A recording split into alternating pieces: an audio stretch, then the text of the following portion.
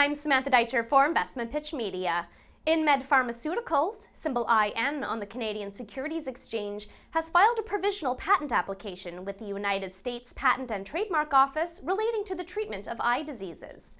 A provisional patent application is a legal document which establishes an early priority date for the benefit of claiming first to file status against other companies or individuals that may later want to file for a patent with similar claims. Dr. Sazzad Hossain, CSO of InMed, stated, we are pleased that our R&D efforts have culminated in the filing of a patent application within this large area of unmet medical needs. We have continued to build our expertise in the ocular disease area and believe the application that we have filed with the USPTO allows the company to pursue a strategic IP strategy around the ocular therapy space, including glaucoma and other ocular diseases. The company's CTI 085 therapy is being developed to prevent permanent vision damage caused by glaucoma. This novel cannabinoid-based dual-action ocular therapy not only reduces the elevated intraocular pressure in the affected eyes, but also provides necessary neuroprotection for the retinal ganglion cells and other optic nerve tissues.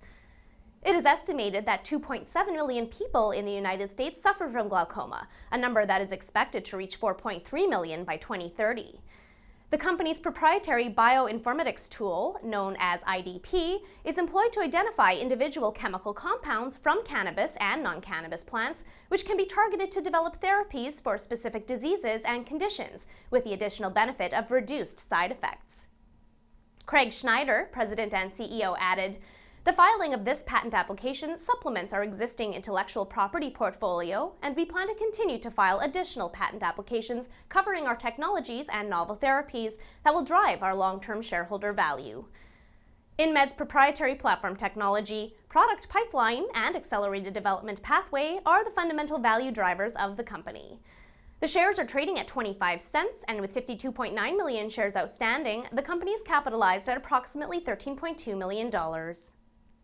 For more information, please visit the company's website inmedpharma.com or contact Craig Schneider, President and CEO, at 604-669-7207 or email info at inmedpharma.com. Investor Relations is handled by Joshua Drum of Tiburon Strategic Advisors, who can be reached at 212-375-2664 or by email at jdrum at tiburon.com. I'm Samantha Deitcher for Investment Pitch Media. For more video news and to view our disclaimer, be sure to visit our website, follow us on social media, and subscribe to our RSS feed. This video is for information purposes only and is not a recommendation to buy or sell any securities.